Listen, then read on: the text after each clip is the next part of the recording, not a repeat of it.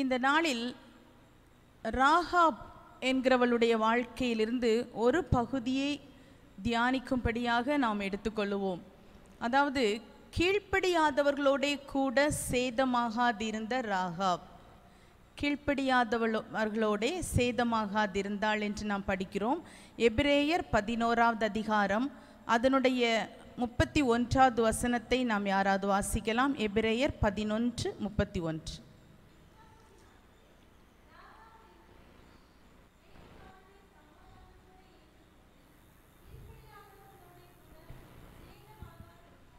விசுவாசத்தினாலே ராகாப் என்னும் வேசி வேவுக்காரரை சமாதானத்தோடே ஏற்றுக்கொண்டு கீழ்ப்படியாதவர்களோடே கூட சேதமாகாதிருந்தாள் என்று இந்த பகுதியில் நாம் படிக்கிறோம் இந்த சம்பவம் பரிசுத்த வேதாகமத்தில் யோசுவாவின் புஸ்தகம் ரெண்டாவது அதிகாரத்தில் இது விரிவாக எழுதப்பட்டிருக்கிறது அதை தொடர்ந்து நாம் ஆறாவது அதிகாரத்திலும் படிக்கிறோம் தலைவன் யோசுவாவுடைய கட்டளைக்கு கீழ்ப்படிந்து எரிகோவை ரகசியமாய் வேவு பார்க்கும்படிக்கு ரெண்டு வேவுக்காரர் அனுப்பப்பட்டார்கள் இஸ்ரவேல் ஜனத்திலுள்ள வேவுக்காரர் இஸ்ரேல் ஜனங்கள் பிரயாணம் பண்ணி வாக்குத்தத்தமாக செய்யப்பட்ட கானானை நோக்கி யாத்திரை பண்ணுகிறார்கள் அந்த வேளையிலே அவர்களுக்கு முன்பாக வைக்கப்பட்டிருக்கிற எதிரிகளை கத்தர் வீழ்த்தி தடைகளை மாற்றி அவர்களை கொண்டு போய் கொண்டே இருக்கிறார் இப்படி அவர்களுக்கு முன்பாக வந்த ஒரு தடை தான் எரிகோ அந்த எரிகோ பட்டணம் அது கோட்டை மதில் பெரிய அலங்கம் சூழ்ந்த ஒரு பட்டணம் அப்போ அந்த பட்டணத்துக்குள் ஜனங்கள் இருக்கிறார்கள் அந்த பட்டணத்தை மேற்கொள்ள வேண்டும் அப்போ தலைவன் யோசுவா ரெண்டு பேரே அந்த இடத்துக்கு அனுப்புகிறார் அவர்கள் அந்த இடத்துல போகும்போது அந்த எரிகோவின் அலங்கத்தின் மேல் அந்த மதிலின் மேல் ஒரு ராகாப் என்கிற வேசி குடியிருக்கிறாள் இன் இவள் இந்த ரெண்டு பேரையும் ஏற்றுக்கொள்ளுகிறாள் தன்னுடைய வீட்டில் ஏற்றுக்கொண்ட அவர்களை வைத்திருக்கிறார் அன்றைக்கு ராத்திரி அவர்கள் அங்கு இருக்கிறார்கள் இந்த செய்தி எரிகோவின் ராஜாவுக்கு சொல்லப்படுகிறது இந்த செய்தி சொல்லப்பட்ட உடனே ராஜா இவளுக்கு ஆள் அனுப்புகிறார் ரெண்டு பேர் வந்திருக்கிறாங்க அவங்க நம்முடைய பகைவரா நமக்கு சத்துருக்களானவர்கள் அதனால் அவர்களை இங்கே அனுப்பிவிடு அப்படின்னு சொல்கிறா அப்படி அவங்க தேடி வந்தவங்க இவளோட வந்து பேசும்போது இவ சொல்கிறா அவங்க வந்தாங்க எல்லாம் உண்மைதான் ஆனால் அவங்க போயிட்டாங்க இந்த இடத்துலேருந்து அவங்க இப்போ தாண்டி போயிருப்பாங்க சீக்கிரமாக போனீங்கன்னா அவங்கள பிடித்து கொள்ளலாம் அப்படின்னு சொல்லி வந்தவங்களை அனுப்பி விட்டுட்டா ராஜாவுடைய ஆட்கள் அதாவது இவளுடைய ஆட்கள் இவள் தேசத்து ஆட்களை இவன் அனுப்பிட்டா வேவு பார்க்க வந்த அந்த எதிரிகளான அவர்களுடைய நாட்டில் உள்ளவர்களை பத்திரப்படுத்தி வச்சிருக்கிறான் அவன் வைத்து கொண்டு இவங்களை அனுப்பிட்டு இவன் நேர அது இவங்களை எப்படி மறைச்சி வச்சுருந்தா அப்படின்னா வீட்டின் மேலே சணல் தட்டைகள் அடுக்கி வச்சுருந்தா அதற்குள்ளாக இவங்களை வைத்திருந்தான் அந்த தேடி வந்தவர்கள் ராஜாவின் வேலையாட்கள் போன உடனே இவள் மேலே ஏறி போகிறா வீட்டின் மேல் ஏறி போய் அந்த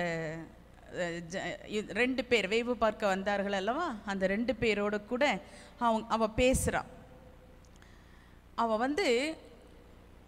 பேசுகிறத வச்சு தான் நமக்கு தெரியுது இவ எப்படி சேதமாகாமல் காக்கப்பட்டால் அதுக்கு ஒரு ரீசன் கீழ்ப்படிய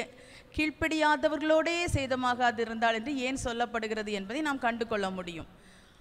அந்த நாட்களில் அந்த ரெண்டு பேர் வருகிற வந்திருக்கிற அந்த நாட்களில் இவங்க இந்த எரிகோவுக்குள்ளே உள்ள ஜனங்களுக்கு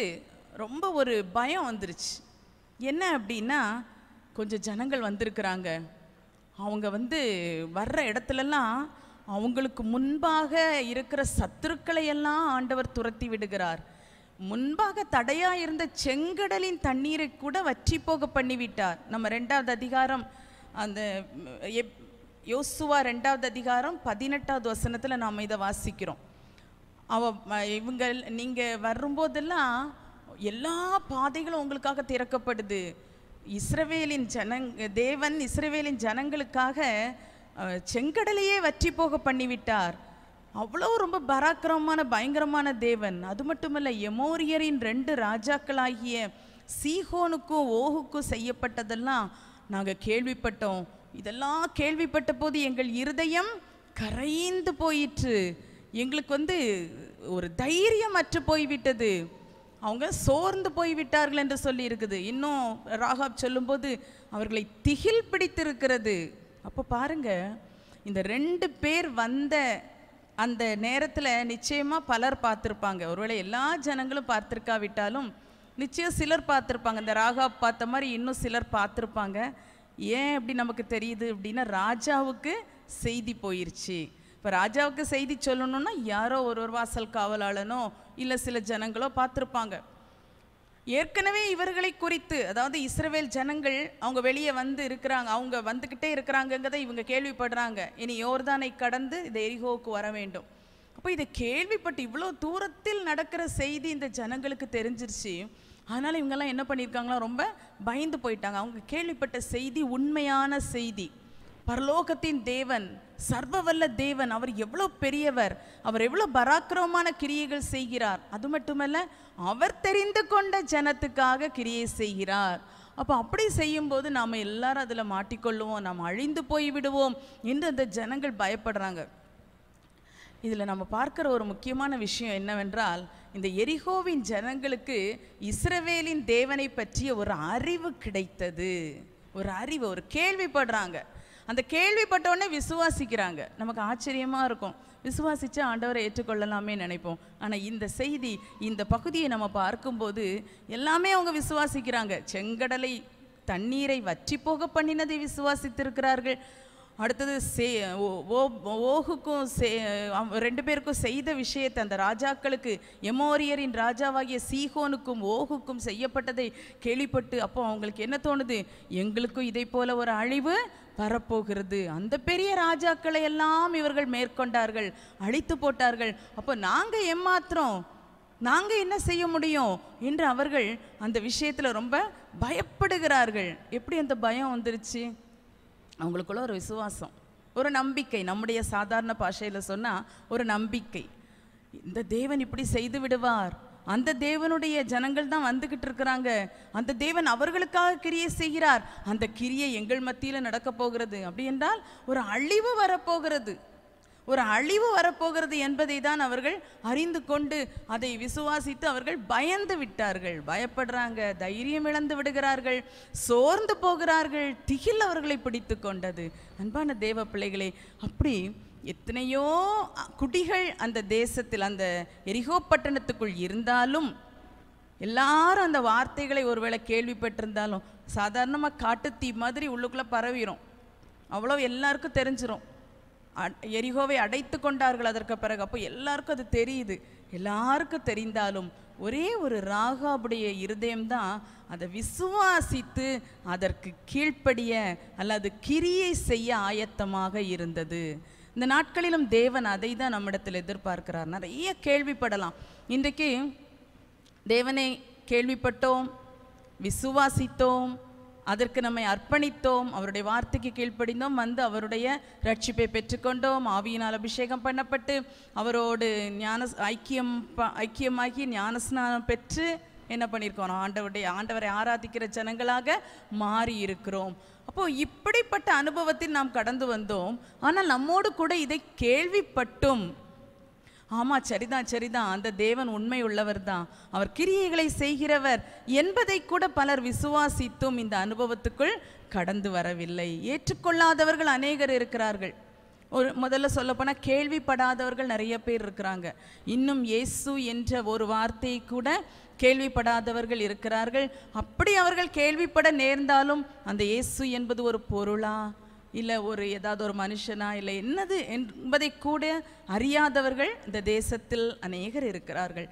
அந்த அநேகரின் மத்தியிலே ஒரு சிலர் கேள்விப்பட்டும் கூட இயேசுவை ஏற்றுக்கொள்ளாமல் இருக்கிறார்கள் நமக்கு நன்றாக தெரியும் ஆனால் மிக சிலராகிய நாம் அதை கேள்விப்பட்டோம் அதை விசுவாசித்தோம் அதற்கு நம்மை அர்ப்பணித்து கீழ்ப்படிந்து அதன்படி அதன் அது கேள்விப்பட்டபடி கிரியை செய்து நாம் இந்த நாட்களிலே காப்பாற்றப்பட்டு கொண்டிருக்கிறோம் இருக்கிறோம் உண்மைதானே ஹலலூயா அந்த பாக்கியத்தை நமக்கு தந்திருக்கிறார் இந்த ரட்சிப்பின் அனுபவத்துக்குள் வந்து அவரோடு கூட வாழுகிற அவருக்காய் ஜீவிக்கிற அவருக்கு ஊழியம் செய்கிற நல்ல பாக்கியத்தை தேவன் நமக்கு தந்திருக்கிறார் நாம் இந்த ஒரு திருப்தியோடு நாம் வாழ்ந்துவிடக்கூடாது அன்று அந்த எரிகோவில் அநேகர் கேள்விப்பட் கேள்விப்பட்டிருப்பார்கள் வரவில்லை விசுவாசித்தார்கள் பயந்து அப்படியே இருந்து விட்டார்கள் ஆனால் இவள் ஒருத்திக்கு மாத்திரம்தான் அந்த வேவுக்காரரை வீட்டிற்குள் ஏற்றுக்கொள்ள வேண்டும் என்கிற ஒரு எண்ணம் வந்திருக்கிறது ஹலலூயா ஹலலூயா இவரை ஏற்றுக்கொள்ளணும் இவங்களை வீட்டுக்குள்ளே ஏற்றுக்கொள்ளணும் அவளுக்கு அப்போ பெரிய ஒரு எண்ணம் ஒரு அவர் கிரியை செய்யறதுக்கான ஒரு எண்ணம் அவளுடைய மனதில் வந்திருக்கிறது என்பதை நாம் இதில் நல்லா பார்க்க முடியும் அன்பான தேவ பிள்ளைகளை இன்றைக்கு நாம் இயேசுவை ஏற்றுக்கொண்டு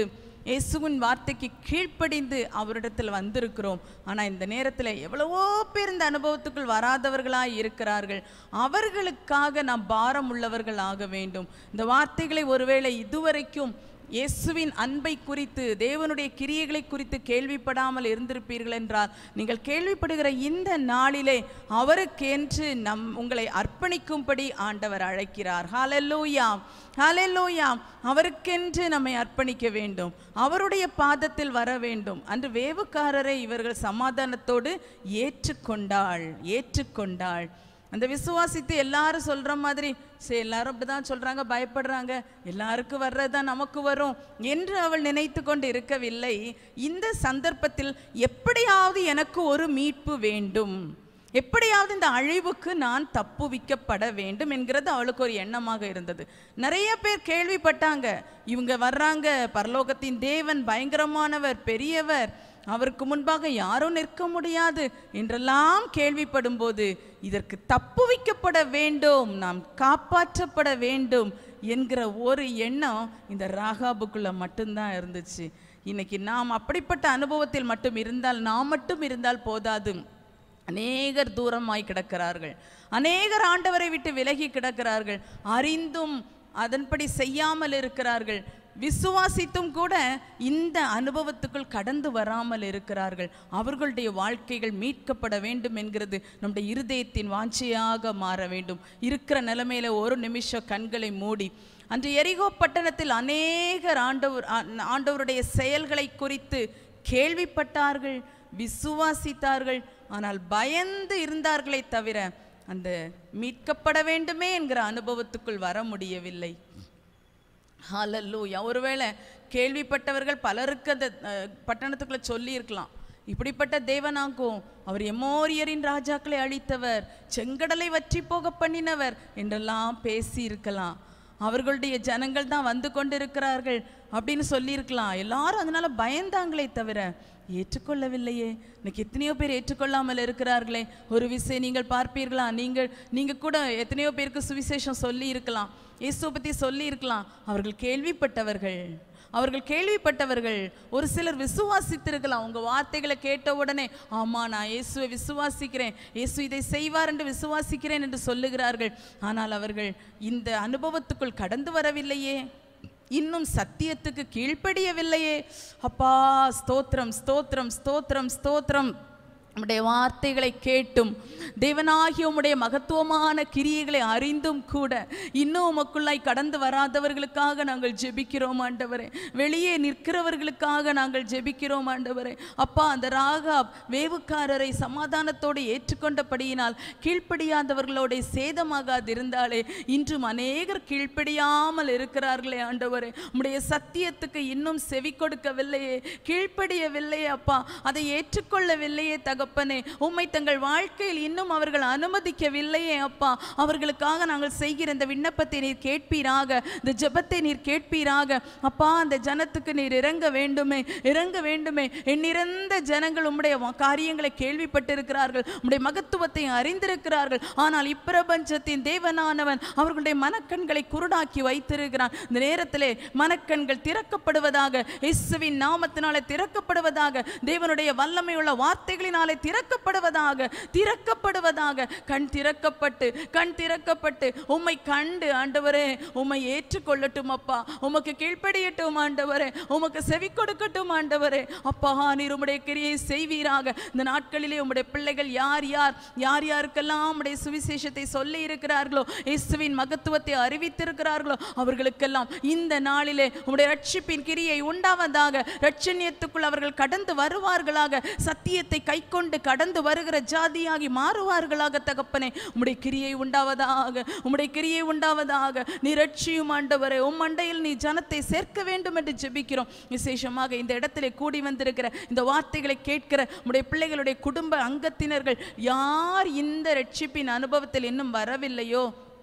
யார் இன்னும் ஏற்றுக்கொண்டு கீழ்ப்படியவில்லையோ அவர்களை கத்தர் கொண்டு வாங்கப்பா உங்க ரத்தத்தினால சுத்தம் பண்ணி மீட்டுக்கொண்டு உம்முடைய பிள்ளைகளாய் மாற்றும் ஆண்டவரை மாற்றும் அப்பா உம்முடைய பிள்ளைகள் குடும்பமாய் கத்தரை சேவிக்கும்படி கத்தர் கிருபை தருவீராக இயேசுவின் நாமத்தில் பிதாவே ஆமேன் ஆமேன் இந்த நாட்களிலே தேவன் இந்த கிரியைகளை தொடர்ந்து செய்வாராக தேவனுடைய கிரியை நடப்பதாக இப்படி நம்பி அதாவது விசுவாசித்தும் கீழ்ப்படியாதவர்கள் அன்று சேதமாகி போனார்கள் அவர்கள் அந்த எரிகோ கோட்டை நமக்கு தெரியும் அதை சுற்றி வந்தபோது அந்த எரிகோ கோட்டை விழுந்தது எல்லாரையும் இஸ்ரவேலர் பட்டய கற்கினால் சங்காரம் பண்ணினார்கள் பெரிய அழிவு ஒருவர் கூட தப்பவில்லை ஆனால் இந்த ராகாப் என்கிறவள் அவ குடும்பத்தோடு காப்பாற்றப்பட்டாள் அப்போது முதலாவது விசுவாசிக்கிறது அதுதான் அநேகர் விசுவாசியாமல் கேள்விப்பட்டும் நம்பாமல் இருக்கிறவர்கள் விசுவாசிக்க வேண்டும் ஏனென்றால் தேவனுடைய வசனம் சொல்லுகிறது எபிரேயர் பதினொன்று ஆறில் படிக்கிறோம் தேவன் ஒருவர் உண்டென்றும் அவர் தம்மை தேடுகிறவர்களுக்கு பலனளிக்கிறவர் என்றும் விசுவாசிக்க வேண்டும் தேவனை விசுவாசிக்க வேண்டும் என்று வேதம் திட்டமாக சொல்லி இருக்கிறது எனவே தேவ பிள்ளைகளை யார் யாருடைய ரட்சிப்புக்காக ஜெபிக்கிறீர்களோ விடாமல் தொடர்ந்து ஜெபியுங்க அந்த நாட்களை காட்டிலும் இப்போது ரட்சிப்பு சமீபமாக இருக்கிறது நமக்கு தான் கொஞ்சம் கஷ்டம் போல தெரியுது ஆனால் தேவனுடைய பார்வையில் அது எளிதான காரியம் ரட்சிக்க கூடாதபடி அவருடைய கை குறுகி போகவில்லை அவர் ரட்சிக்கிறார் இன்று ரட்சிக்கிறார் விசுவாசித்தால் நாம் தேவனுடைய கிரியையை காண முடியும் முடியும் ஹலல்லூயா ஹலல்லூயா அடுத்த பகுதியாக நாம் பார்ப்பது அவர் விசுவாசித்து ஏற்றுக்கொள்ளுகிற ஒரு அனுபவம் விசுவாசித்து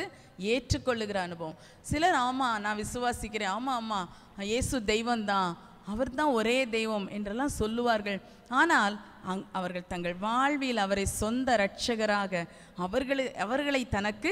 ஆண்டவராக ஏற்றுக்கொள்ளுவது இல்லை இது மிக முக்கியமான ஒரு காரியம் விசுவாசித்தால் மட்டும் போதாது ரட்சி அது ரட்சிப்பு உண்டாக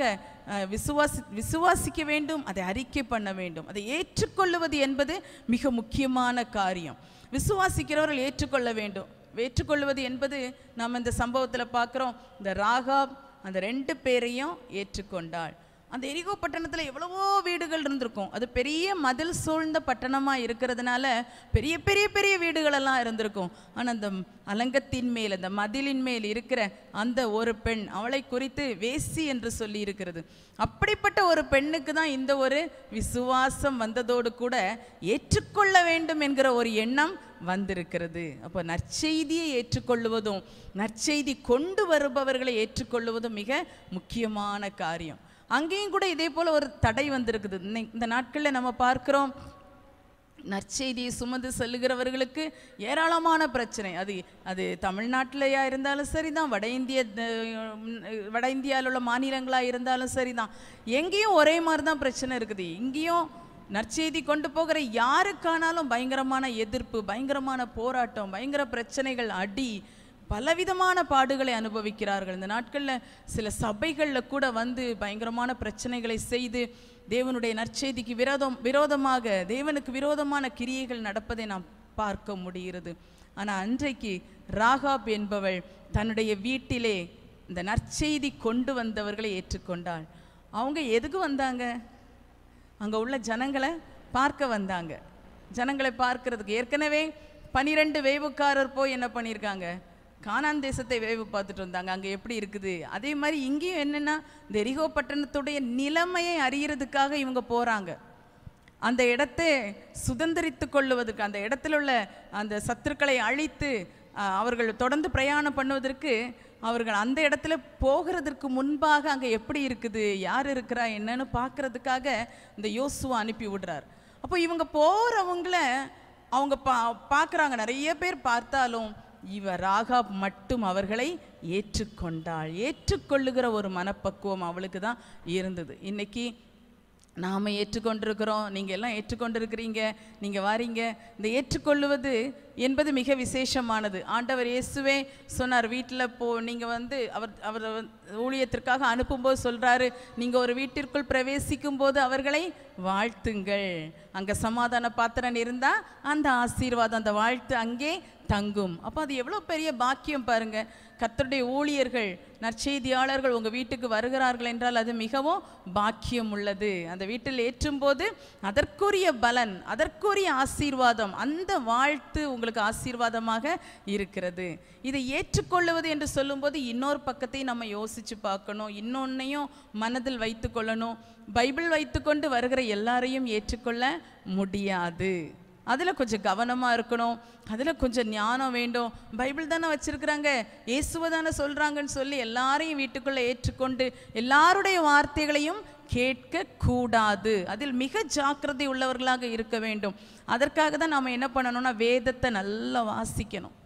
பரிசுத்த வேதாகமத்தை ஒரு வருஷத்துக்கு குறைந்தது ஒரு முறையாவது நல்லா வாசிக்கணும் ஏன் வாசிக்கணும் வாசிக்கும் போது அந்த வேத சத்தியங்களை கத்த நமக்குள்ள அந்த வசனங்களை நமக்கு தருகிறார் உள்ளே வைக்கிறார் அது அப்படியே மனப்பாடம் செய்ய முடியாது உண்மைதான் எல்லாத்தையும் அப்படி மனப்பாடம் செய்ய முடியுமான்னு தெரியல ஆனால் மனப்பாடம் செய்யாவிட்டாலும் அதனுடைய கருத்துக்கள் ஆவியானவர் என்ன நோக்கத்தோடு அவைகளை எழுதி வைத்திருக்கிறாரோ அந்த தாற்பரியங்களை நமக்குள் தருகிறார் மட்டுமல்ல நாம் ஒரு சபையிலே அங்கத்தினர்களாக இருக்கிறோம் அங்கே போகும்போது ஆண்டோடைய வசனங்களை கேட்கிறோம் ஆண்டோடைய வார்த்தைகள் நமக்கு சொல்லப்படுகிறது இப்படி பல விதங்களில் தேவனுடைய வார்த்தைகள் நமக்கு தரப்படும் போது அந்த வார்த்தைகள் நாம் வார்த்தைகளை எல்லாம் உட்கொண்டு அதை நாம் ஒரு கருத்தாய் வைத்து போது இப்படிப்பட்டவர்களை சரியாக கண்டுபிடிக்க முடியும் அவங்க வந்து இயேசுவை தான் சொல்கிற மாதிரி வருவாங்க பைபிளை தான் தூக்கிட்டு வருவாங்க ஆனால் சிலர் எகோவா மட்டும்தான் தெய்வம் வேறு தெய்வம் கிடையாது சில சொல்லுவாங்க இயேசு மட்டும்தான் தெய்வம் இயேசுவின் நாமத்தினால் மட்டும்தான் எல்லாம் செய்யணுமாங்க இப்படி பல பிரிவுகள் இருக்கிறாங்க பரிசு தாவியானவரை நம்ப மாட்டார்கள் சிலர் விசுவாசிக்க மாட்டாங்க அதை அப்படி இருக்கிறாங்க பல விதங்களில் இருக்கிறாங்க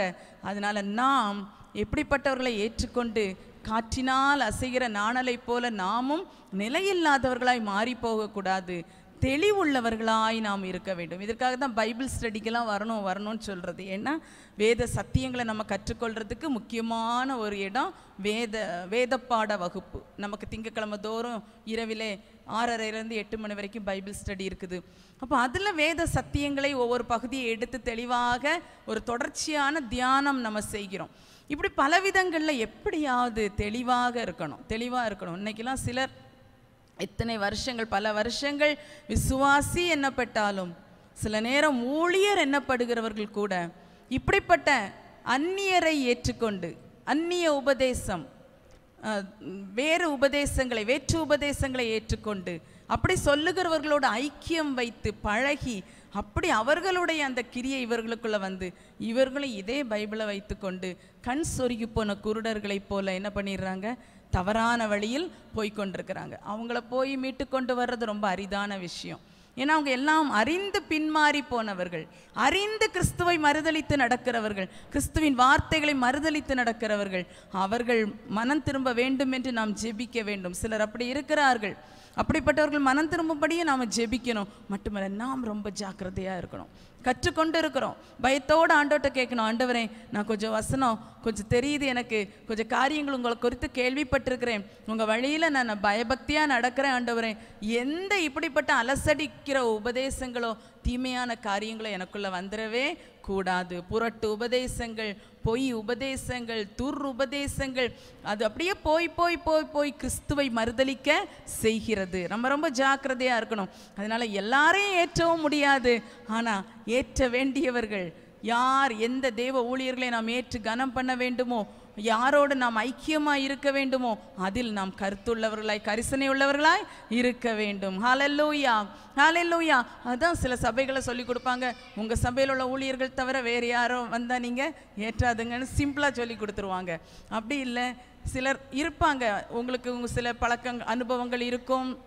தொடர்புகள் இருக்கும் நான் அதை இது பண்ணலை ஆனால் நீங்கள் கரிசனையாக இருக்கணும் யாதொரு வேற்று உபதேசங்களும் வந்து உங்களை கலக்கி விடக்கூடாது எந்த கசப்பான வேர் உங்களுக்குள்ள வந்துவிடக்கூடாது வேறு எந்த தவறான உபதேசங்கள் என்கிற விதை நமக்குள் விதைக்கப்பட கூடாது ஏனென்றால் அது வந்து வெறும் உபதேசம் மட்டும் கிடையாது அதை ஃபுல்லாக பின்னாலேருந்து இது பண்ணுறது இயக்குகிறது எல்லாமே அசுத்த ஆவியின் கிரியை தான் மனுஷனுடைய கிரியையே இல்லை மனுஷனுடைய கிரியையே கிடையாது அது அசுத்த ஆவியின் கிரியை நான் ஒரு சிலருட பேசி பார்த்துருக்குறேன் அவங்களோட பேசும்போது சாதாரணமாக பேசுகிற மாதிரி பேசுவாங்க ஒரு கொஞ்ச நேரத்தில் அவங்களுடைய முக ரூபம் மாறிடும் உங்களுடைய பேச்சு மாறிடும் ஏன்னா அவங்க கொண்டு இருக்கிற கொள்கையை நிலைநாட்ட வேண்டும் என்று விரும்புகிறார்கள் நாம் அவர்களை எப்படியாவது தெளிவிக்க வேண்டும் என்று முயற்சி பண்ணினாலும் கொஞ்ச நேரம் போகும்போது நம்மளே அவங்க என்ன பண்ணிடுவாங்க குழப்பி விடுவார்கள் ஏனென்றால் அது ஒரு அசுத்த ஆவியின் பேக் சப்போர்ட்டில் இருந்து வருகிறது அதனால தான்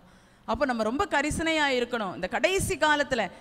ஆண்டவர் இயேசு வருகிற அந்த நேரத்தில் நம்ம லாஸ்ட் கட்டத்தில் வந்து நிற்கிறோம் நம் முன்னோர்கள் காலத்திலே நம்ம சின்ன வயதிலே கேட்டிருக்கிறோம் இயேசு சீக்கிரமாய் வரப்போகிறார் இயேசு சீக்கிரமாய் வரப்போகிறார் அப்போ எல்லாரும் அவளோடு வாஞ்சியோடு காத்திருந்தாங்க ஆனால் இன்றைக்கு இந்த வார்த்தையின் குரல் தொனிப்பது சற்று கம்மியாக இருக்கிற மாதிரி அது ரொம்ப நம்ம கேட்க முடியல ஆனால் நம்ம ரொம்ப ஜாக்கிரதையாக இருக்கணும் இதுதான் ஆண்டவர் வரக்கூடிய கடைசி நேரம் ஹாலலூயா ஹாலலூயா சீக்கிரத்தில் வருவார் ஏறக்குறைய சுவிசேஷங்கள் அறிவிக்கப்பட்டு சாட்சியாக பல இடங்களில் அறிவிக்கப்பட்டு விட்டது கடைசி கால சம்பவங்கள் பயங்கரமாக நடக்கிறது இனி நடக்க போகும் என்று ஏதாவது கேள்விப்பட்டால்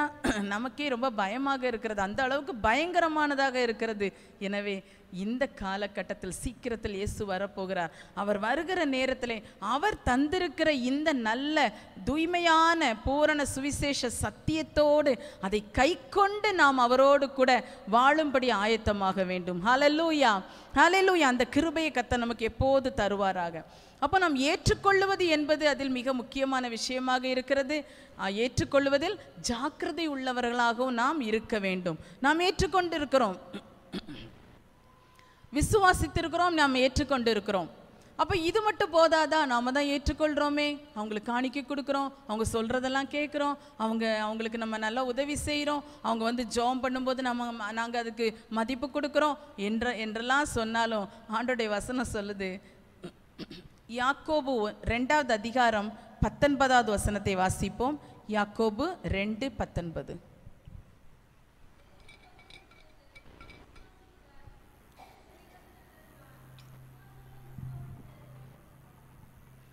தேவன் ஒருவர் உண்டென்று விசுவாசிக்கிறாய் அப்படி செய்கிறது நல்லதுதான் பிசாசுகளும் விசுவாசித்து கீழ் நடுங்குகிறது பிசாசும் விசுவாசித்து என்ன செய்தான் நடுங்குகிறதாம் பாருங்க எவ்வளோ ஒரு இது பா கே பார்க்கும்போது ரொம்ப ஈஸியாக சொன்ன மாதிரி இருக்குது ஐயோ இவ்வளோ விசுவாசிக்கிறோம் அதையெல்லாம் இது பண்ணுறோம் ஆனால் அப்போ பிசாசும் இப்படி செய்யுது அப்படின்னு ரொம்ப எளிதாய் சொல்லப்பட்டிருக்கிறதே என்று நாம் நினைக்கிறோம் ஆனால் அன்பான தேவ பிள்ளைகளே பல நேரங்களில் இன்றும் கூட வேதாகபத்தின் எல்லா சத்தியத்தையும் எல்லா வசனத்தையும் நாம் கீழ்ப்படிந்து விட்டோம் எல்லாவற்றின்படி நடக்கிறோம் என்று சொல்ல முடியாது அதனால் நம்ம ரொம்ப ஜாக்கிரதையாக இருக்கணும் பிசாசு கூட தேவன் உண்டென்று விசுவாசிக்குதான் அது கூட விரட்டின உடனே கீழ்ப்படிந்து போகுது அது அது அது வந்து பிசாசுக்கு கூட இப்படி இருக்குது அதனால் நீங்கள் என் ஜனங்களே சும்மா வார்த்தைகளை மட்டும் கேட்டு நான் ஏற்றுக்கொண்டேன் என்று சொல்லிவிட்டு மௌனமாக இருந்து விடாதீர்கள் ஏமாந்து போவீர்கள் என்று சொல்லியிருக்கிறது அந்த அன்று எரிகோ பட்டணத்து ஜனங்களும் அப்படி தான் எல்லாம் கேட்டாங்க இப்படி நடந்தது இப்படி நடந்தது தேவன் பெரியவர் பெரியவர் என்று கேட்கும்போது நடுக்கம் வந்தது பயம் வந்தது எல்லாம் வந்தது ஆனால் அவங்க கீழ்ப்படியவில்லையே கீழ்ப்படியவில்லையே இந்த நாட்களில் கூட தேவ பிள்ளைகள் ஆண்டவரை ஆராதிக்கிறேன் ஆண்டவருடைய பிள்ளைகள் என்று சொல்லுகிற அநேகர் கூட நான் தேவனை விசுவாசிக்கிறேன் அவர் பெரியவர் அவர் பெரிய கிரியைகளை செய்வார் என்று விசுவாசிக்கிறேன் அப்புறம் இயேசு கிறிஸ்துவை நான் விசுவாசிக்கிறேன் பரிசுத்த ஆவியானவரை நான் விசுவாசிக்கிறேன் இயேசு இந்த உலகத்திலே கன்னிமரியாளிடத்தில் வந்து பிறந்தார் என்று நான் விசுவாசிக்கிறேன் அடுத்தது இயேசு எனக்காக பாடுபட்டு மறித்தார் என்று விசுவாசிக்கிறேன் இயேசு உயிரோடு எழுந்தார் என்று விசுவாசிக்கிறேன் ஒரு நாளில் இயேசு மறுபடி வருவார் என்று விசுவாசிக்கிறேன் அவர் என்னையும் பரலோகத்துக்கு அழைத்து செல்வார் என்று விசுவாசிக்கிறேன் நித்திய ஜீவன் உண்டென்று விசுவாசிக்கிறேன் பரலோகம் உண்டென்று விசுவாசிக்கிறேன் நரகம் உண்டென்று எனக்கு தெரியும் அதை விசுவாசிக்கிறேன் என்று சொல்லி விசுவாச அறிக்கை மட்டும் செய்து கொண்டிருந்தால் போதாது நாம் எதை விசுவாசிக்கிறோமோ தேவனை விசுவாசிக்கிறோமா தேவனை விசுவாசித்தால் தேவன் தந்த வார்த்தைகளை எல்லாம் விசுவாசித்து கீழ்ப்படிய வேண்டும் அடுத்து மூன்றாவது நாம் பார்க்கிறது அதுதான் விசுவாசித்தால் மட்டும் போதாது கீழ்ப்படிய வேண்டும் விசுவாசித்தோம் ஏற்றுக்கொள்ளுகிறோம் சரிதான் ஆனால் கீழ்ப்படிய வேண்டும் என்று கத்தர் நம்மிடத்தில் எதிர்பார்க்கிறார் அன்னைக்கு இந்த செய்திகளெல்லாம் இந்த ரெண்டு வேவுக்காரர் கூட சொல்லலை ரொம்ப ஆச்சரியமாக இருக்கும் இந்த பகுதியில் பார்த்தா ஏற்கனவே எரிகோப்பட்டணத்து ஜனங்களுக்கு செய்தி வந்து விட்டது அது யார் கொண்டு இந்த செய்தியை சொன்னாங்கன்னு தெரில எப்படி அவங்களுக்கு ஏற்கனவே கேள்விப்பட்டு விட்டார்கள் அந்த கேள்விப்பட்ட செய்தியை வச்சு எல்லாம் பயந்துக்கிட்டு இருக்கிறாங்க அந்த பயத்தின் நடுவில் ரெண்டு பேர் அங்கேருந்தே வந்துட்டாங்க அப்போ அது கூட இந்த ஜனங்களுக்கு தெரிஞ்சிருக்கும் இவன் இந்த ரெண்டு பேரையும் சமாதானத்தோட ஏற்றுக்கொண்டு இவளே தான் கேட்குறா இப்படியெல்லாம் இருக்குது அதனால் எனக்கு ஒரு மீட்பு வேண்டும் ஹலலூயா அந்த பட்டணத்தில் யாதொருவர் இப்படி வந்து கேட்கவே இல்லை இவள் ஒருத்தையும் தான் கேட்டா என்னையும் நான் உங்களை ஏற்றுக்கொண்டு இருக்கிறேன் நீங்கள் எனக்கும் என் குடும்பத்துக்கும் பாதுகாவல் தர வேண்டும் மீட்பு தர வேண்டும் ரட்சிப்பு தர வேண்டும் என்று கேட்கிறாள் அதற்குரிய வழியை அவங்க சொல்லி கொடுத்தாங்க அந்த சிவப்பு நூல் கயிற்றை கட்டிவிடு அப்படின்னு சொன்னாங்க சொன்னது மாதிரி கேட்டான் உன் வீட்டாரெல்லாம் யார் யாரை காப்பாற்றணும்னு நினைக்கிறியோ எல்லாரையும் கூட்டி வைத்துக்கொள் சொன்னது போல கீழ்ப்படிந்தால் இதுதான் சொல்லப்பட்டிருக்குது கீழ்ப்படியாதவர்களோட கூட சேதமாகாதிருந்தாள் அன்பான தேவ பிள்ளைகளே இன்றைக்கு நீங்கள் எதை விசுவாசித்து ஏற்றுக்கொள்ளுகிறீர்கள் ஆனால் இதுவரை கீழ்ப்படியாமல் இருக்கிறீர்கள் இயேசுவை விசுவாசிக்கிறீர்கள் இயேசு ரத்தம் சிந்தினார் எனக்காக மறித்தார் எனக்காக அடக்கம் பண்ணப்பட்டார் எனக்காக உயிரோடு எழுந்தார் எனக்காக பரலோகத்தில் ஏறி சென்றார் என்றெல்லாம் விசுவாசிக்கிற நீங்கள் ஏன் இன்னும் ரட்சிக்கப்படவில்லை இயேசுவின் ரத்தத்தை ரத்தம் சிந்தப்பட்டது என்று விசுவாசிக்கிற நீங்கள் எனக்காக இயேசு ரத்தம் சிந்தினார் என்பதை விசுவாசிக்க வேண்டும் இந்த பகுதியை சொல்லும்போது எனக்கு ஒரு விஷயம் நினைவுக்கு வருகிறது நம்முடைய பரிசுத்த வேதாகமம் போன வாரத்திலேயே நம்ம கூட பாஸ்டர் சில காரியங்கள் சொன்னார்கள் நம்முடைய பரிசுத்த வேதாகமும் பவா டிரான்ஸ்லேஷன் பழைய திருப்புதல் ஓல்டு வெர்ஷன் என்று இருக்கிறது அதை தான் நம்ம பயன்படுத்தி கொண்டு இருக்கிறோம் ஆனால் இப்போ நிறைய திருப்புதல்கள் வந்துட்டு நிறைய வெர்ஷன்ஸ் வந்து கொண்டே இருக்கிறது அப்போ பைபிள் வாங்கும்போது ரொம்ப கவனமாக பார்த்து வாங்கணும் ஏனென்றால் இயேசு சிலுவையில் மறித்தார் என்று சொல்லுகிறது அந்த எனக்காக என்கிற வார்த்தை எடுக்கப்பட்டிருக்கிறது என்று சொல்லுகிறார்கள் அதே போல் சில ஆங்கில வேதாகமத்தில் பார்க்கும்போது ஒரு சில இடத்துலலாம் ஒரு இடத்துல ரெண்டு ரெண்டு வசனங்கள் என்னமோ இல்லை புதியதாக வருகிறதுல இந்த கிங் ஜேம்ஸ் வெர்ஷனில் இருக்குது அப்புறம் இன்னொரு வெர்ஷனில் அது இல்லை ஆனால் அதையெல்லாம் பெரிய அதை பின்பற்றுகிறவர்களாக இருக்கிறார்கள் அநேகர் அதனால தான் வேதாகமம் வாங்கும்போது அதை நாம் கவனித்து வாங்க வேண்டும் நாம் கவனித்து படிக்க வேண்டும் அப்போது இயேசு மறித்தார் என்று எல்லாரும் சொல்லுவாங்க விசுவாசிப்பார்கள் பைபிளை கூட இப்போ அப்படி எழுதப்பட்டாயிற்று ஆனால் இயேசு எனக்காக மறித்தார் என்று யார் ஒருவர் விசுவாசித்து ஏற்றுக்கொள்ளுகிறோமோ அதற்கு கீழ்ப்படுகிறோமோ அவர்களுக்கு மட்டுமே மீட்பு உண்டு ஹாலல்லூயா ஹாலல்லூயா இயேசு மறித்தார் அடக்கம் பண்ணப்பட்டார் உயிரோடு எழுந்தார் பரலோகத்துக்கு சென்றார் என்று சொல்லுவது உங்களுக்கு ஒருவேளை வேதாகமத்தை குறித்து இயேசுவை குறித்து நீங்கள் அறிவுள்ளவர்கள் என்பதை வெளிப்படுத்தலாமா இருக்கும் ஆனால் நீங்கள் ரட்சிக்கப்பட்டவர்கள் என்பதை வெளிப்படுத்த முடியாது இயேசுவின் ரத்தத்தை விசுவாசிக்கிற யாரா இருந்தாலும் இயேசுவின் ரத்தம் எனக்காக சிந்தப்பட்டது இயேசு எனக்காக மறித்தார் ஒவ்வொரு நேரம் அப்படி தான் அறிக்கை பண்ணணும் இயேசுவே நீர் மறித்தீர் நீர் அடக்கம் பண்ணப்பட்டீர் உயிரோடு எழுந்தீர் நல்லது நீ எனக்காக ரத்தம் சிந்தினீரப்பா நீ சிந்தின ரத்தத்தினால் எனக்கு பாவ மன்னிப்பாகிய மீட்பு உண்டு ஆண்டவரே இயேசு கிறிஸ்துவின் ரத்தம் சகல பாவங்களையும் நீக்கி நம்மை சுத்திகரிக்கும் அப்போ சுத்திகரிப்பு பாவ மன்னிப்பு எங்க இருந்து வருகிறது இயேசு ரத்தம் சிந்தினார் என்று அறிவு கொள்ளுவதினால் மட்டுமல்ல எனக்காக ரத்தம் சிந்தினார் என் பாவத்தை போக்க ரத்தம் சிந்தினார் என்று விசுவாசிக்க வேண்டும் இந்த வார்த்தைகளை கேட்கிற தேவ பிள்ளைகள் யாராவது இதுவரை நீங்கள் பல விசுவாச அறிக்கை பண்ணிக்கொண்டே இருக்கலாம் பரலோகத்தின் தேவன் உண்டென்று விசுவாசிக்கிறேன் இயேசு உண்டென்று விசுவாசிக்கிறேன் பரிசுதாவி உண்டென்று விசுவாசிக்கிறேன் உண்டென்று விசுவாசிக்கிறேன் என்று சொன்னால் மட்டும் போதாது நீங்கள் விசுவாசிக்கிறதோடு கூட அதற்கு கீழ்ப்படிந்து அந்த பரிசுத்த ஆவியானவரை பெற்றுக்கொள்ள வேண்டும் ஹால லூயா ஹால லூயா கீழ்ப்படுகிறவர்களுக்கு அருளப்படுகிற பரிசுத்த ஆவியானவர் என்று தானே வேதம் சொல்லுகிறது அப்போ யார் ஒருவர் இந்த பரிசுத்த ஆவியானவர் எனக்கு வேண்டும் எல்லாம் நம்ம ஏட்டு சுரக்காய் போல வைத்துக்கொண்டு படித்துக்கொண்டோ சொல்லிக்கொண்டோ இருந்தால் போதாது தேவ பிள்ளைகளை அதை வாழ்க்கையில் அப்பியாசப்படுத்த வேண்டும் அந்த விசுவாசத்தை வாழ்வில் கீழ்ப்படிதலாக கிரியையில் நடப்பிக்க வேண்டும் என்று கத்த நம்மிடத்தில் எதிர்பார்க்கிறார் ஹாலல்லோயா ஹாலல்லோயா பரிசு தாவியை விசுவாசிக்கிறீர்கள் அல்லவா அந்த ஆவியானவரை பெற்றுக்கொள்ளணும் அந்த ஆவியானவர் ஏதோ மனுஷர் கை வைக்கிறதுனால் மட்டும் வந்து விடுகிறது அல்ல அவர் இறங்கி வரணும் அந்நிய பாஷையினால் நிரப்பணும் அப்போ சில ரெண்டாவது அதிகாரத்தை நாம் விசுவாசிக்கிறோம் அல்லவா அந்த ரெண்டாவது அதிகாரத்தில் எவ்வளவு அழகாக சொல்லப்பட்டிருக்கிறது அவர்கள் கூடி இருந்தார்கள் அவர்கள் மேல் வந்து அமர்ந்தது ஹலல் லூயா ஓரிடத்தில் கூடி வந்திருந்த போது பலத்த காற்று அடிக்கிற முழக்கம் போல வானத்திலிருந்து சடுதியாய் ஒரு முழக்கம் உண்டாகி அவர்கள் உட்கார்ந்திருந்த வீடு முழுவதை நிரப்பிற்று என்று அப்போ சில ரெண்டு ரெண்டுல படிக்கிறோம் மூன்றாவது வசனத்தில் படிக்கிறோம் அவர்கள் மேல் வந்து அமர்ந்தது நான்காவது வசனத்தில் கடைசியில் படிக்கிறோம் அவர்கள் தங்களுக்கு தந்தருளின வரத்தின்படியே வெவ்வேறு பாஷைகளிலே பேச தொடங்கினார்கள் ஹாலல்லோயா இந்த முழுமையான ஒரு அனுபவம் இதற்கு பின்பாக இனி ஆவியின் வரங்கள் கனிகள் என்றெல்லாம் இருக்கிறது அது இதனுடைய பின் பின்பாக வருகிற அவ்வளவு காரியங்களை நாம் பெற்றுக்கொள்ளணும் முதலாவது அடிப்படையாக பரிசுத்த ஆவியை விசுவாசிக்கிற ஒவ்வொரு தேவ பிள்ளைகளும் பரிசுத்த ஆவியை பெற்றுக்கொள்ளணும் ஹாலல்லோயா அதற்கு கீழ்ப்படிய வேண்டும் ஆவியான ஆண்டவரை பெற்றுக்கொள்ளணும் அதற்காக ஏதேதோ நம்ம பேசிக்கொண்டோம்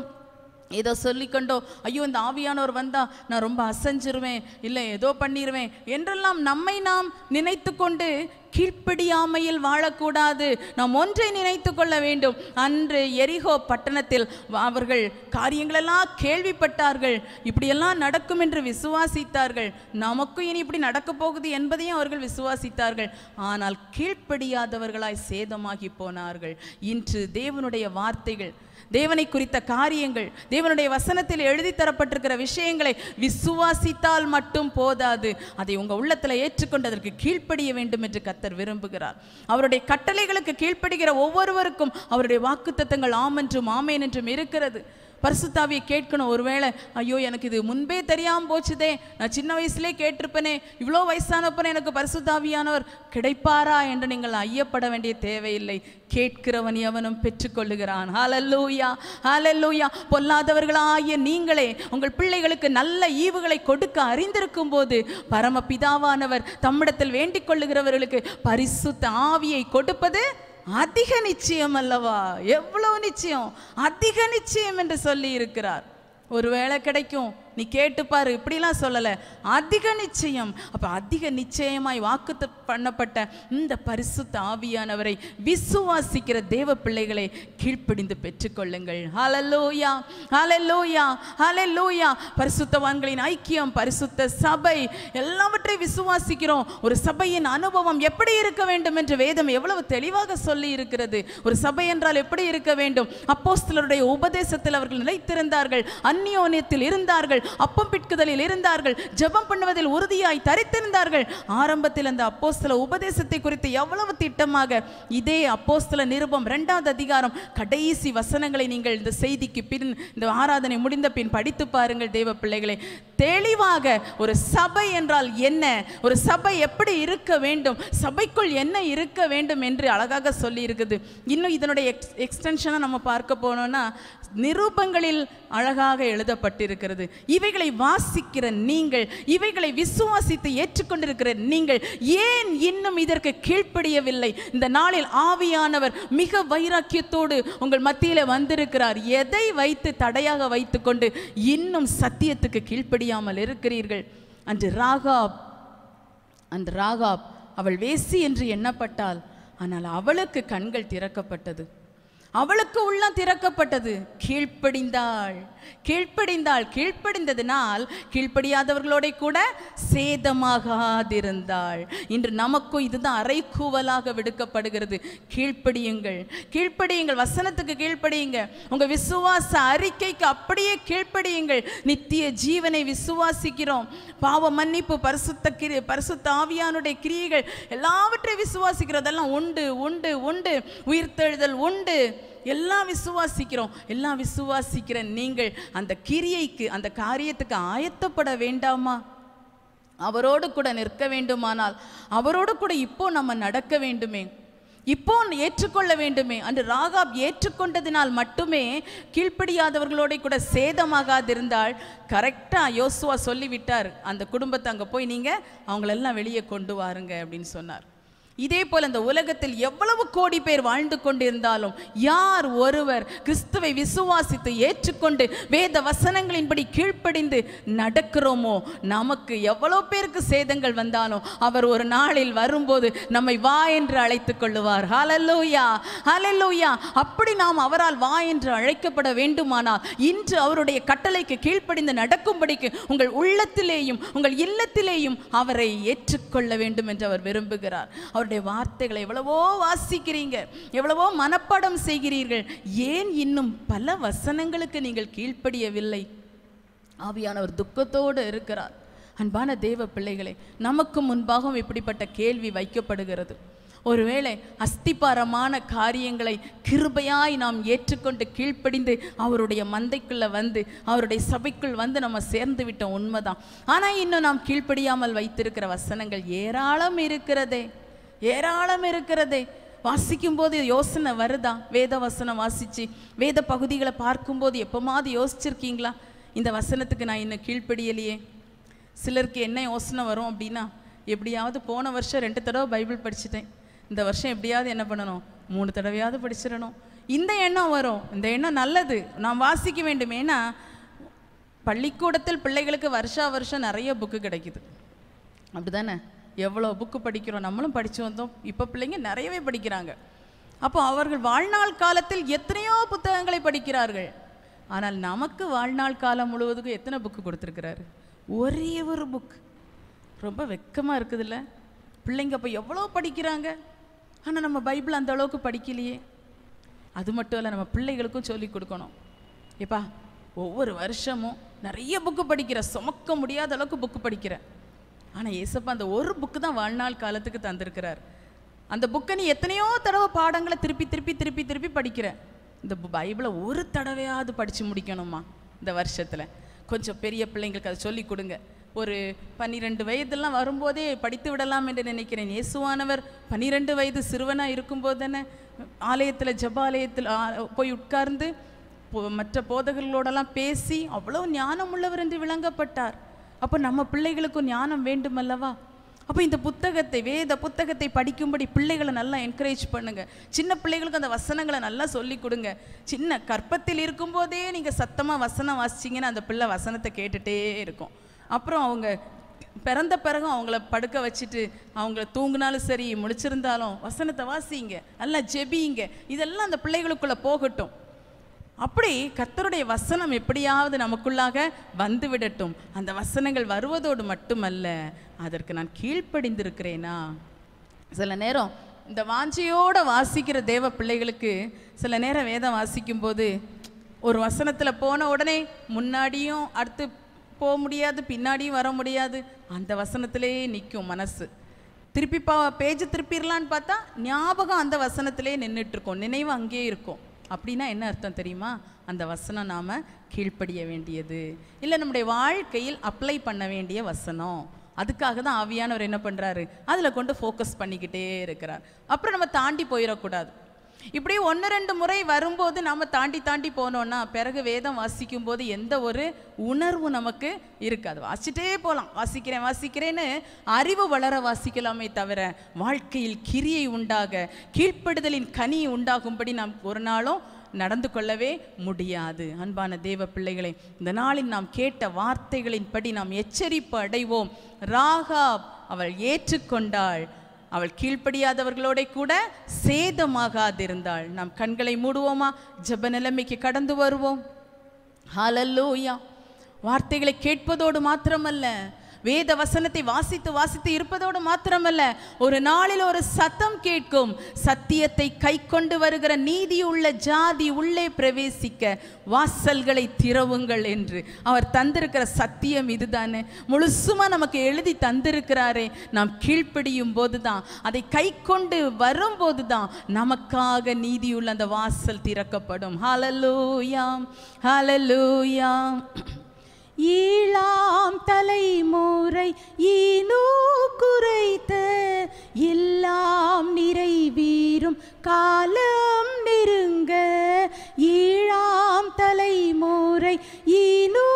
குறைத்த எல்லாம் நிறைவேறும் காலம் நெருங்க ஈசு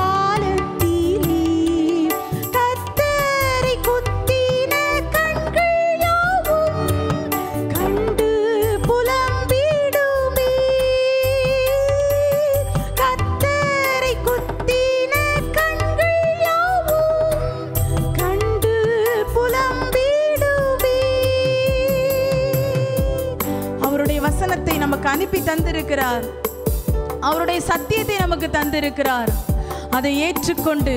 அதற்கு கீழ்ப்படிந்து அதன்படி வாழ கத்தர் கிருபை தருவாராக கிருபை தருவாராக சத்தியத்தை கை கொண்டு வருகிற நீதியுள்ள ஜாதியாக அவர் உடன் பிரவேசிக்கும்படியான பாக்கியத்தை பெறும்படிக்கு இப்போதே நம் வாழ்க்கையை சீர் செய்வோம் இப்போதே நம்மை ஆயத்தப்படுத்துவோம் இப்போதே நம்மை ஆயத்தப்படுத்துவோம் ஹலல்லூயா ஹலல்லூயா இப்படி எழுதி இருக்கிறது எனக்கு நல்லா தெரியும் இதுதான் சரி என்று எனக்கு தெரிகிறது ஆனால் என்னுடைய குடும்ப சூழ்நிலை என்னுடைய ஸ்டேட்டஸ் என்னுடைய உறவினர்களின் நிலைமை இல்லை என்றால் நான் வளர்ந்து வந்த பாரம்பரியம் இவற்றை மீறி இவற்றை விட்டு நான் எப்படி செல்ல முடியும் எப்படி இந்த சத்தியத்துக்கு கீழ்ப்படிய முடியும் என்று நினைக்கிறீர்களா தள்ளி போடாதீர்கள் பிள்ளைகள் தேவ பிள்ளைகளே ஹாலல்லூயா ஹாலல்லூயா காலம் தாழ்த்தாதீர்கள் காலம் தாழ்த்தாதீர்கள் ஹாலல்லூயா சத்தியத்தை கை கொள்ள அதை கேள்விப்பட்ட அடுத்த நிமிடமே போதுமானது அதற்கு பின்பு காலம் தாழ்த்துவோம் என்றால் சாத்தான் நம்மை அப்படியே இழுத்து கொண்டு போய் விடுவார் நம்முடைய மனசு அப்படியே போய்விடும் சத்தியத்தை கேட்ட உடனே கீழ்ப்படிவோம் கேட்ட உடனே கீழ்ப்படிவோம் வாசிச்ச உடனே கீழ்ப்படிவோம் இது எனக்கு வாழ்க்கையில இல்லை ஆண்டவரே இதுக்கு கீழ்ப்படிய கிருப தாங்கப்பா அப்பா நான் இதுபடி செய்யலை இதுபடி செய்ய எனக்கு உதவி செய்யுங்க ஆண்டவரே இது ஒவ்வொரு வார்த்தைக்கும் ஒவ்வொரு வசனத்துக்கும் அப்படியே கீழ்ப்படிந்து அப்படியே அர்ப்பணித்து நடப்போமானால் ஆவியானவர் நமக்கு உதவி செய்வார் தேவ ஆவியானவர் பலன் தருவார் hallelujah hallelujah hallelujah hallelujah hallelujah hallelujah hallelujah இயேசுவுக்கு சீஷராக மாறுவோம் இயேசுவை பின்பற்றுகிறவர்களாக இருப்போம் அவரோட கூட அவரோட கூட அவரோட கூட ஒருவேளை சில நேரங்களில் நீங்கள் நீங்கள் எடுக்கும் தீர்மானத்தினால் அவரோட கூட பாடுகளை சகிக்க வேண்டிய சூழ்நிலை வந்தாலும் அதுதான் உங்களை ஆளுகையில் ஏற்றும் அதுதான் உங்களை ஆளுகை ஸ்தானத்தில் அவரோடு கூட வைக்கும் தேவ பிள்ளைகளே அந்த மகிமையை நினைத்து தமக்கு முன் வைத்திருந்த சந்தோஷத்தின் பொருட்டு அவமானத்தை எண்ணாமல் சிலுவையை சகித்த இயேசுவை போல இயேசுவோடு கூட நடக்க தீர்மானிப்போம் எல்லா சூழ்நிலையிலும் சத்தியத்துக்கு கீழ்ப்படிய தீர்மானிப்போம் சத்தியத்தை கை கொண்டு சத்தியத்துக்கு கீழ்ப்படிந்து சத்தியத்துக்கு சாட்சியாக வாழ தேவன் கிருபை தருவாராக நம் கரங்களை தட்டி கத்தோடைய நாமத்தை மகிமைப்படுத்துவோம் ஹலலூயா ஹலலூயா ஹலலூயா ஹலலூயா ரிபப வரதன மோஷ மலரந்தலன மரியா திமலஹரதன மோஷ வரபோ திரிவிக்க வரபோ திரிவிக்க பல பல வரவா ஹலலூயா ஹலலூயா ஹலலூயா ஸ்தோத்திரம் ஸ்தோத்திரம் எங்கள் பரிசுத்தமுள்ள நல்ல தகப்பனை இந்த மகிழ்ச்சியான பெண்கள் ஆராதனைக்காக நாங்கள் உமக்கு நன்றி செலுத்துகிறோம் உம்முடைய பாதத்தில் வந்து உமை பாடி ஆராதிக்க அப்பா உம்முடைய சமூகத்தில் சில காரியங்களுக்காக விண்ணப்பிக்க உமக்கு கொடுக்க உம்முடைய வார்த்தைகளை கேட்க நீ தந்த நல்ல பாக்கியத்துக்காக ஸ்தோத்திரம் ஆண்டவரே இந்த நாட்களிலே நாங்கள் எவ்வளவோ உம்முடைய வசனங்களை படிக்கும்போது உணர்த்தப்படுகிறோம் அப்பா அந்த உணர்வுகளுக்கு அப்படியே நாங்கள் கீழ்ப்படிந்து உங்கள் சத்தியத்தை முழு மனதோடு கை கொள்ள முழு மனதோடு அதற்கு கீழ்ப்படிந்து நடக்க ஒவ்வொருவருக்கும் கிருபை தருவீராக ஒவ்வொருவருக்கும் கிருபை தருவீராக விசேஷமாக வேத வசனத்தை வாசிக்கும் போதும் சபையிலே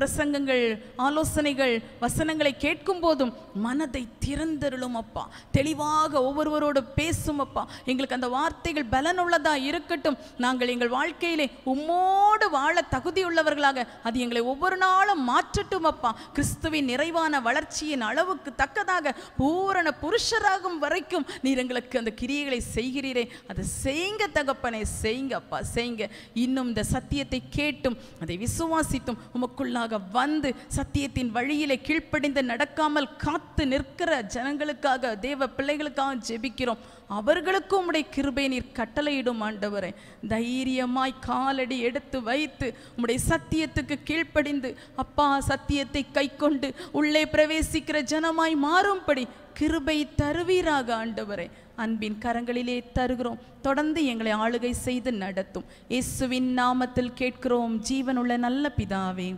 ஆமேன் என் ஆத்துமாவே கத்தரை ஸ்தோத்திரி என் முழு உள்ளமே அவருடைய பரிசுத்த நாமத்தை ஸ்தோத்திரி என் ஆத்துமாவே கத்தரை ஸ்தோத்ரி அவர் செய்த சகல உபகாரங்களையும் மறவாதே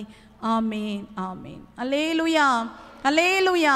அலே லுயா கத்தர் உங்களை ஆசீர்வதிப்பாராக சத்தியத்தை கை கொண்டு அவரோடு கூட நடக்க கிருபை தருவாராக ஆமேன் ஆமேன் பிரைஸ் லாட்